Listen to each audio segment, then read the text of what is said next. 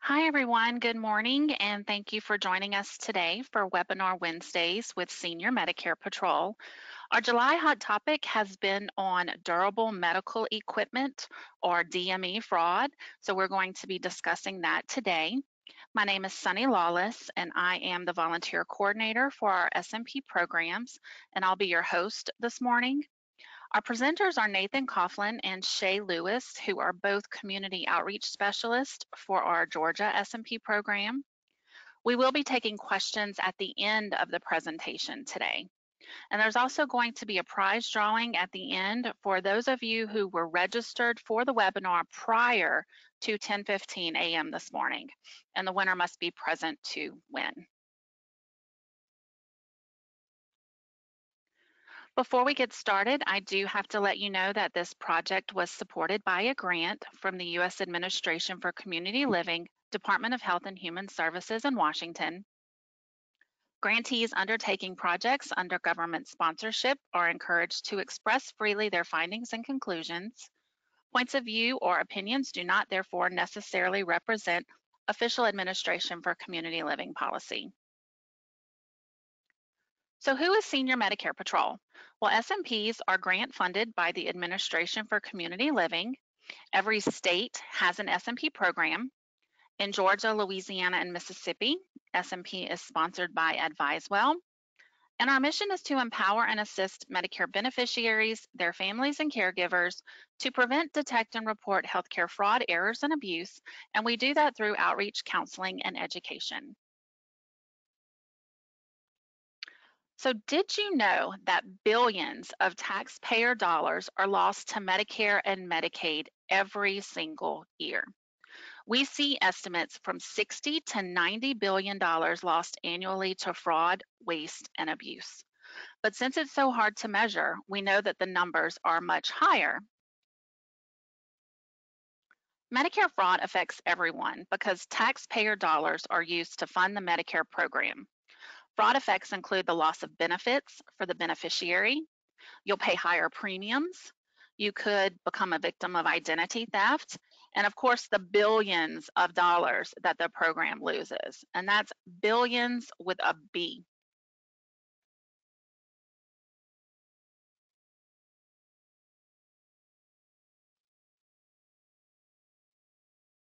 All right, so before we get started with today's presentation, we did just want to do a quick poll. So let me launch that poll. And you'll see it on your screen here. Have you ever received phone calls from someone offering you a free back brace or knee brace? And we'll give you just a few seconds to answer yes or no.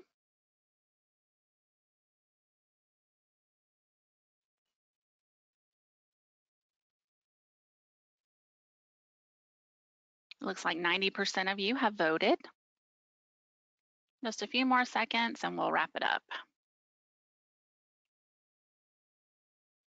Okay. So let's look at the results. So it looks like 44% of you said yes and 56% of you said no, letting us know that you have not received a phone call from someone offering you a free back brace or knee brace. So thank you so much for completing the poll. That's great information that we just learned. And from the responses of the poll, we're gonna dive a little deeper into this with information on today's main topic.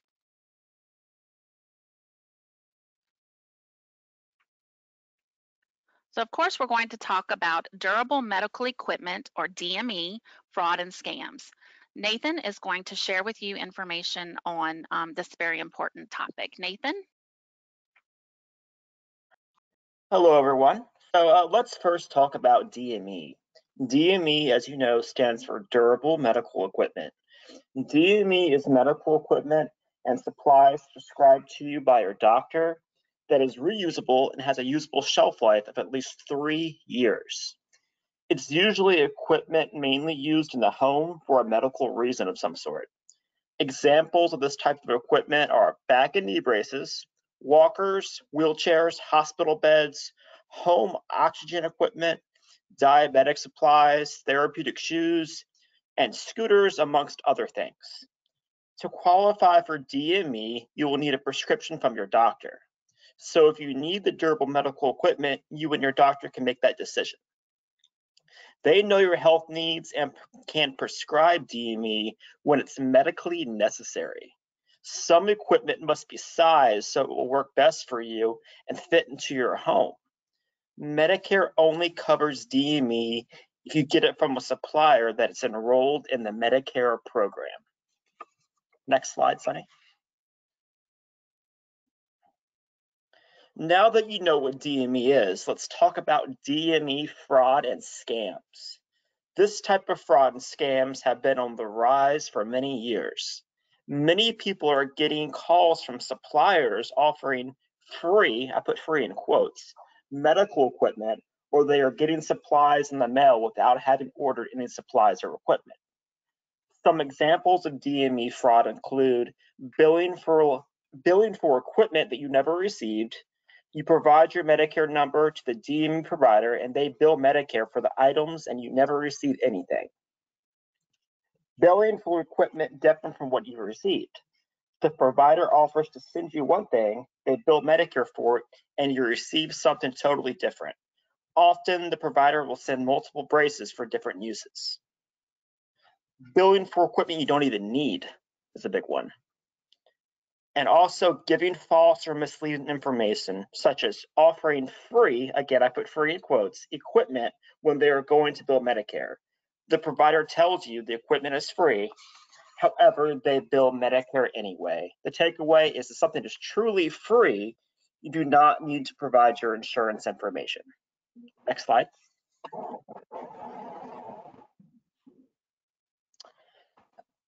some potential DME scams that have led to fraud are getting calls or visits from people saying they represent Medicare and are trying to sell you products. Many television and radio ads run targeting beneficiaries to get them to order free DME. These ads don't have the beneficiary's best interest at heart, so don't fall for the advertising of free equipment. Aggressive marketing by durable medical equipment suppliers don't let anyone persuade you or pressure you into switching suppliers. Talk to your supplier first because you may not need to make the change.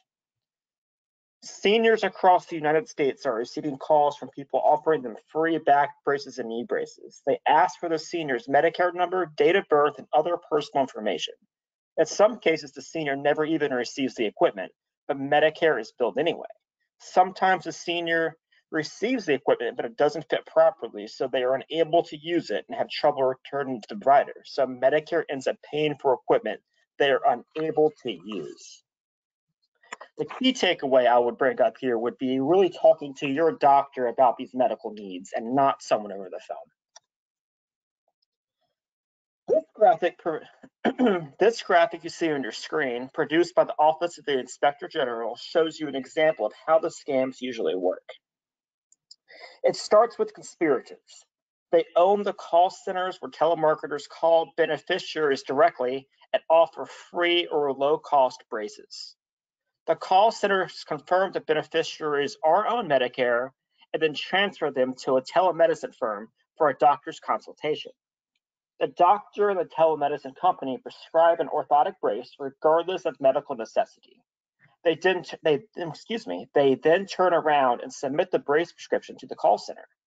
The call center collects the prescriptions and sells them to a medical equipment company. After the medical equipment company buys the prescriptions, the medical equipment company sends the brace or multiple braces to the beneficiary. The company bills Medicare and pays a kickback to the conspirators. Then the cycle starts all over again. Next slide. Wheelchair scams. Wheelchair scams are another very common type of durable medical equipment fraud. Mechanical and motorized wheelchairs can assist a beneficiary who has a chronic ailment or disability that prevents them from freely ambulating. The power wheelchair industry has grown into an almost billion dollar per year industry. You've probably seen commercials on TV offering wheelchairs at little to no cost to you. Be aware, the Medicare rules stipulate that you must have a legitimate need before obtaining these devices, and a certificate of medical necessity must be signed by your doctor. How this particular scam works is DME street scammers may approach you to offer a power wheelchair that is a free benefit for having Medicare. This is not the case. The beneficiary must have a legitimate need. Co-pays and deductibles may have to be met, and the physician prescribing the device must have examined the patient. The cost of these power devices runs from 1,500 all the way to $6,000, depending upon the model. In addition, accessories may be ordered that are not needed, driving the cost up even higher by several thousand dollars. Often a scam artist will contact the beneficiary and use scare tactics. This includes telling the beneficiary that Medicare is running out of money, so the beneficiary better get his wheelchair now, even though it is not needed at this time. Getting equipment now for possible future needs does not adhere to Medicare rules and is therefore illegal. How to fight back against these scams. Do not let anyone talk you into stockpiling equipment for later use. If you do not need the equipment, it should only be ordered through your regular family physician. If someone calls and tries to threaten or pressure you into something, simply Uh, I apologize earlier. If you do need the equipment, it should only be ordered through your regular family physician. If someone calls and tries to threaten or pressure you into something, simply hang up your phone. Be aware that you're responsible for 20% of the final amount, including potentially unnecessary add-ons and accessories for the device ordered. Frequently, the scammers do not explain this. Next slide. We're doing another poll time. Yes, This poll okay. question. Take a second. I'm sorry. So how do you think you could help stop Medicare fraud is our next poll. So give me just one second. We'll go ahead and launch that. And your options are protect my personal information, treat my Medicare card like I would my credit card, refuse and report anyone offering free, in quotes, DME, or all of the above. I'll give everyone just a few seconds to vote and then we will share the results.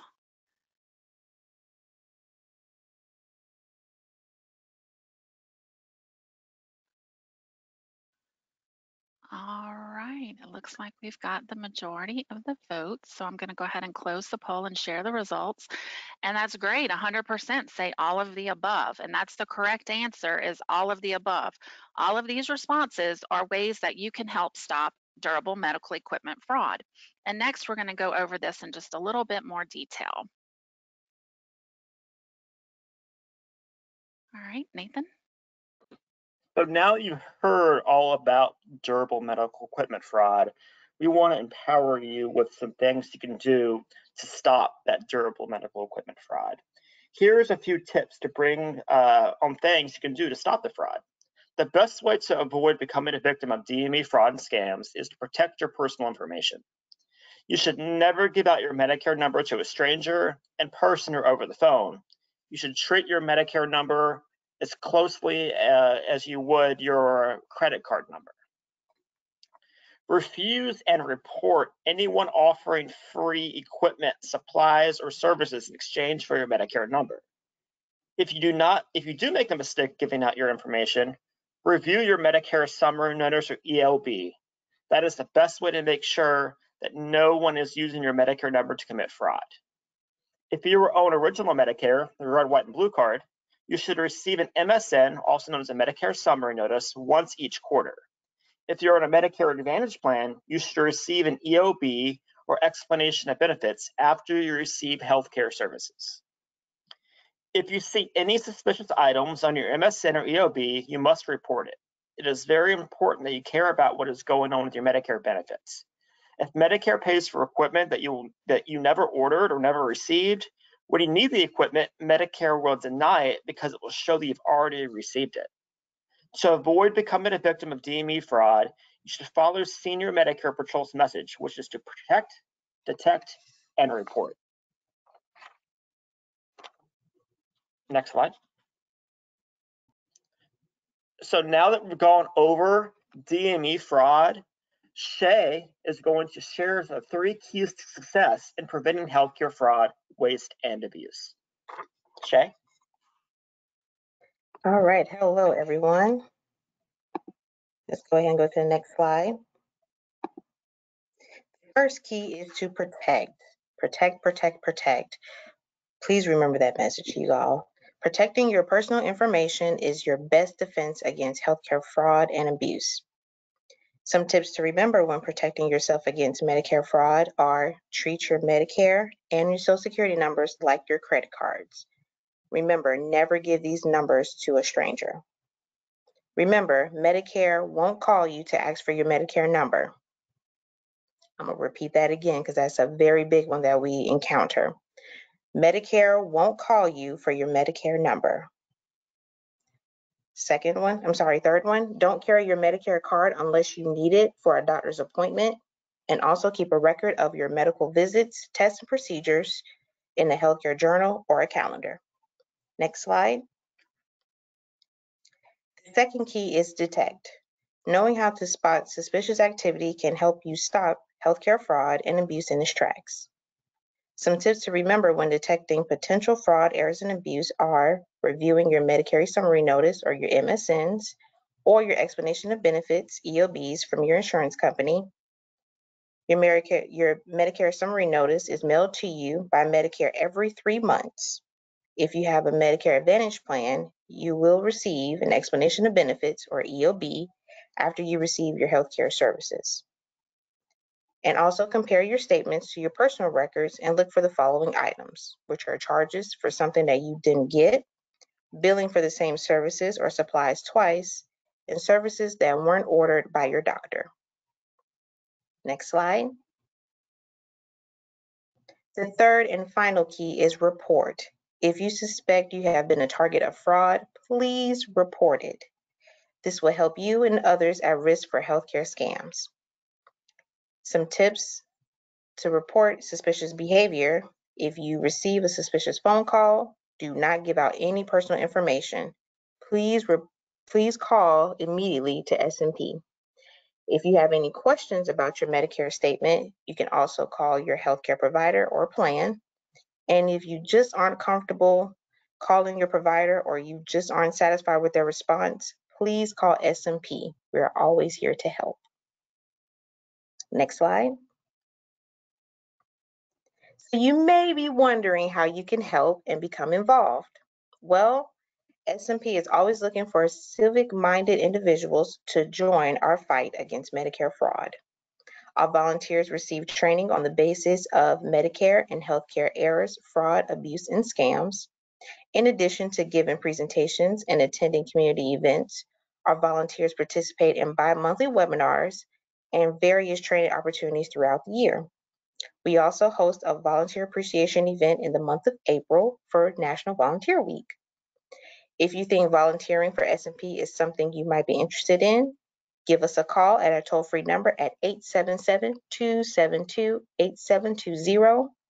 We'll be more than happy to send you one of our volunteer information packets and answer any questions you might have about the process.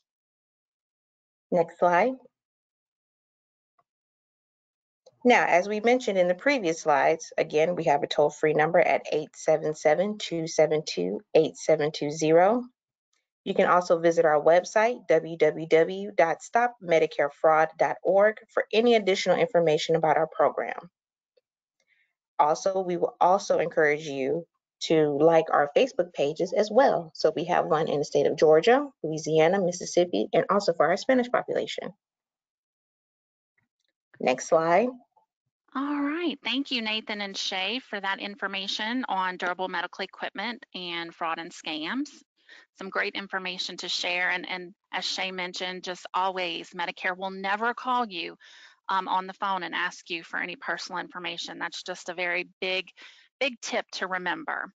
So we'd like for you to save the date for our next Webinar Wednesdays event on Wednesday, August 31st at 10:30 a.m. We're going to meet again to share information on pharmacy and prescription drug fraud. So we hope you'll be able to join us then. Just be out, be on the lookout for an invitation to register for that soon. So before we wrap up today um, and open the floor to questions, we are going to go ahead and have our prize drawing. Everyone who um, registered to join us before 10:15 a.m. this morning has been entered onto our little prize wheel and you must be present to join. So um, we'll go ahead and spin the wheel and hopefully the winner is here. All right, so Miss Nita, and I do believe I saw her name here. Yes, ma'am. All right, Miss Nita Ford, you are our prize winner today. So I will be reaching out to you a little bit later to get your information so we can get you that prize.